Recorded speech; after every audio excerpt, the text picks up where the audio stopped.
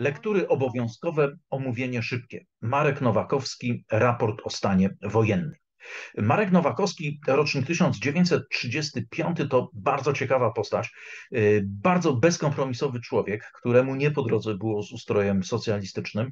Y, był autorem y, wielu ważnych listów protestacyjnych. W 1971 protestował przeciwko drakońskim wyrokom w procesie działaczy tak zwanego ruchu. Tam wtedy Celiński, Niesiołowski po 7 lat więzienia dostali. W 1976 podpisał tak zwany memoriał 101. Tutaj protestował przeciwko zmianom w konstytucji Polskiej Rzeczypospolitej Rzeczypospolitej Ludowej, które miały wprowadzić zależność naszego kraju od Związku Socjalistycznych Republik Radzieckich. Raport o stanie wojennym to zbiór opowiadań, które ukazały się w wersji książkowej w roku 1982. Potem były kolejne y, wydania, jeszcze wzbogacone o następne utwory. Wydanie raportu o stanie wojennym doprowadziło do aresztowania Marka Nowakowskiego. W 1984 roku jemu groziło więzienie za to, że wypowiadał się krytycznie na temat ustroju. Podważanie ustroju y, komunistycznego ono mogło y, sprowadzić na głowę y, człowieka poważne problemy jeszcze przecież w stanie wojennym, czy też po, tuż po zawieszeniu stanu wojennego. Na szczęście w lipcu 1984 roku Nowakowskiego objęła amnestia. Tytuł zbioru: e, Raport o stanie wojennym. Proszę zauważyć, że z jednej strony jest on w pewien sposób zabawiony ironią, no bo słowo raport e, można wtedy uznać jako aluzję do faktu, że komunistyczne władze PRL-u, jak zresztą większość totalitarnych e, systemów, lubowały się w biurokracji. No więc życie obywateli było wtedy regulowane przez nieskończone Y, liczby różnego rodzaju wytycznych, y, y, regulaminów, kodeksów, nakazów, zakazów, raportów, właśnie, donosów. Z drugiej strony, mm, Nowakowski zdaje się tym tytułem podkreślać dokumentarny wymiar dzieła, czyli po prostu mm, pokazuje, że opowiadania składające się na raport o stanie wojennym będą stanowiły zapis wierny prawdzie historycznej, zapis zdarzeń, które rzeczywiście miały miejsce po wprowadzeniu stanu wojennego. No tak, tu już kilkakrotnie powiedziałem o tym y, stanie wojennym, co to, co to takiego było.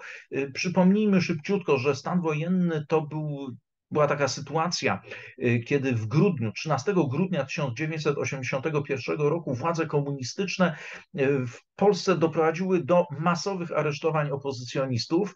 Y, w nocy z 12 już na 13 grudnia 81 wyprowadziły na ulicę no, 70 tysięcy żołnierzy, 30 tysięcy milicjantów, tysiące czołgów, pojazdów opancerzonych, wozów bojowych. Aresztowano około 10 tysięcy działaczy Solidarności. Pierwszego dnia stanu wojennego internowano około 5 tysięcy, między innymi Lecha Wałęsę. Mm, w kolejnych w kolejnych dniach były następne aresztowania. Wyłączono telefony, żeby ludzie się nie mogli kontaktować ze sobą. To wszystko, to wszystko nazwano właśnie stanem wojennym, stanem wyjątkowym. Polacy fatalnie przyjęli wprowadzenie stanu wojennego. W miastach wybuchły y, protesty. Te protesty, strajki okupacyjne, na przykład demonstracje, one były brutalnie pacyfikowane przez y, ZOMO, przez milicję, y, przez wojsko również. Najkrwawsza rozprawa wyprawa miała miejsce w Katowicach, tam na kopalnię Wujek szturmowało ZOMO wspierane przez wojsko, zastrzelono dziewięciu y, górników. Więc były ofiary śmiertelne, tych ofiar stanu wojennego szacuje się, że było około kilkudziesięciu. Y, czyli wracamy do mm, tytułu i do y, opowiadań Marka Nowakowskiego, raport o stanie wojennym. Proszę pamiętać, że wpisuje się on podobnie jak lwia część twórczości Nowakowskiego w estetykę tak zwanego małego e, realizmu. To był taki nurt w prozie, w prozie polskiej w latach 60. XX wieku, który charakteryzował się tendencją do opisywania współczesnych twórcy i odbiorcy zdarzeń. E, przez te zdarzenia, przez opisy tych zdarzeń, czytelnik poznawał realie życia przeciętnych, realie życia przeciętnych ludzi, postawionych w codziennych, zwyczajnych sytuacjach. To nie tak jak w tym wielkim realizmie, z którym mieliście do czynienia przy okazji twórczości, nie wiem, Balzaka czy też Prusa, z szeroką panoramą społeczną. Nowakowski i inni twórcy małego realizmu skupiali się na jakiejś grupie y, społecznej, przeciętnej, nierzadko też penetrowali obszary marginesu y, społecznego, mm, unikali osądów, raczej koncentrowali się na opisie zachowań bohaterów, nie interesowały ich głębokie analizy psychologiczne, społeczne, posługiwali się często językiem mówionym, dawali po prostu świadectwo jakiemuś drobnemu wycinkowi rzeczywistości. I w raporcie o stanie wojennym Nowakowski właśnie pokazuje takie migawki, elementy stanu wojennego. Y, tych opowiadań jest sporo, natomiast y, chciałbym Wam polecić y, kilka, które moim zdaniem warto przeczytać. To będzie stan wojny, to będzie Boże zmiłuj się nad Wilnem, to będzie opowieść taksówkarza, to będzie mój ulubiony kanarek i to będzie Babilon upada. Szybciutko, Stan wojny idąc niejako chronologiczne, to jest początek stanu wojennego. Akcja y, rozgrywa się w trzecim dniu po wprowadzeniu y, stanu wojennego. Żołnierze pilnują wejścia do huty. Jest taki nastrój oblężenia, nastrój grozy. Widzimy gdzieś tam przejeżdżają kolumny czołgów, transportery, przechodzą żołnierze, wszystko z ostrą bronią. Żołnierzom jest zimno, przypominam, to jest grudzień, grudzień 81 roku w Polsce był zimny. Y, żołnierze stojący właśnie na warcie ogrzewali się przy tak zwanych koksownikach, to były takie żelazne mm, rusztowania, y, tam wrzucano koks, podpalano i, i, i rzeczywiście te zaimprowizowane piecyki y, dawały ciepło. No, do jednego z tych żołnierzy, młodziaka, podchodzi stara kobieta i, i zaczyna z nim rozmawiać, w końcu wypowiada takie słowa, żal, żal wszystkich, żal i ciebie. Yy, I mm, odchodzi, ten żołnierz nie bardzo wie, wie, co zrobić. Yy, koledzy się go pytają, yy, wołają tam z drugiej strony drogi do niego, co tam, co tam się działo, i on, on tak lekceważąco mówi: głupia jakaś. I, i, i, i tyle.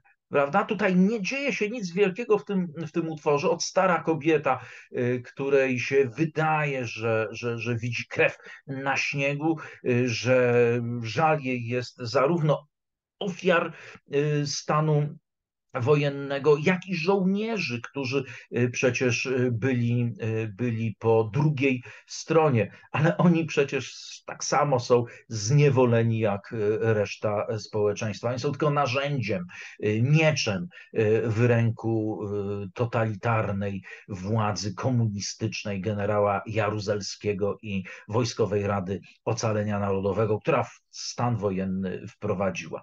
Przeciekawe opowiadanie, Boże zmiłuj się nad Wilnem. Y, kolejny dzień y, stanu wojennego.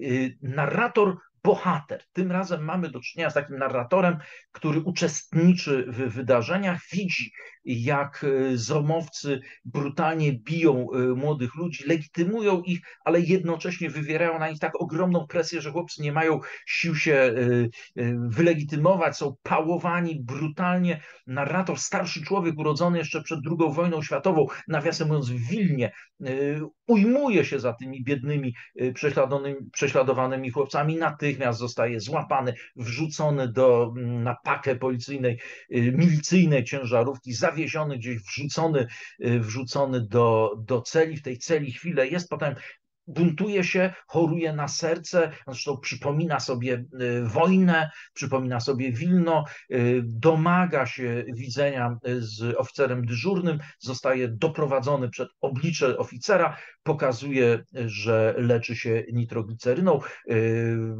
patrzy w dowód osobisty, oficer widzi urodzony w Związku Radzieckim, bo rzeczywiście w 80 latach w dowodach osobistych ludzie urodzeni mm, w Litwie czy, czy Ukrainie mieli wpisane no, miejsce urodzenia Związek Radziecki, zgodnie z ówczesną y, geografią. Y, no, widząc, widząc, gdzie się urodził, widząc, że chorego Czecha zostaje wypuszczony y, z tego więzienia.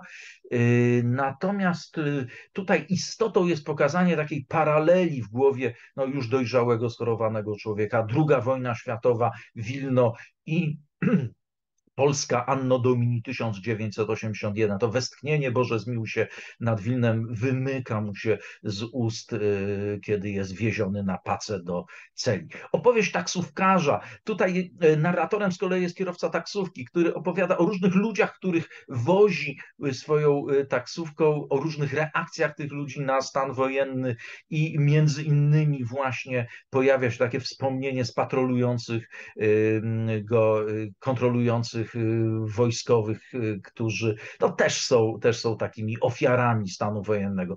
Ulubiony mój kanarek, to szybciutko powiem, kanarek jest y, ulubionym ptaszkiem starszej pani, kanarek nie domaga, babcia chce go zawieźć do weterynarza, nagle okazuje się, że wyłącza stan wojenny telefony w kraju. Babcia nie może skontaktować się z rodziną, po jakimś czasie kanarek czuje się lepiej, przywracają łączność telefoniczną, babcia dzwoni do rodziny, mówi kanarek zaśpiewał, no w tym momencie włącza się y, jakiś politruk, y, który kontroluje rozmowy telefoniczne, no i, i, i mówi, że proszę nie mówić szyfrem i wyłącza, wyłącza babci y, telefon. No to ta paranoja właśnie stanu wojennego. No i wreszcie Babilon upada.